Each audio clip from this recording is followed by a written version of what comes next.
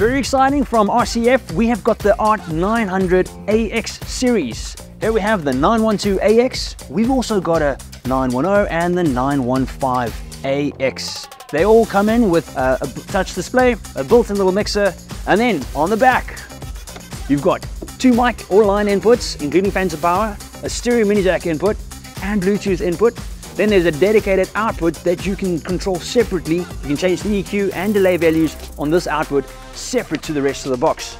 Then your little touch screen display, if I go in there, I can see my inputs, I can see my output, but you don't have to stand behind your box if you want to mix the show. There's an app for that, and you can control everything from the app plus more.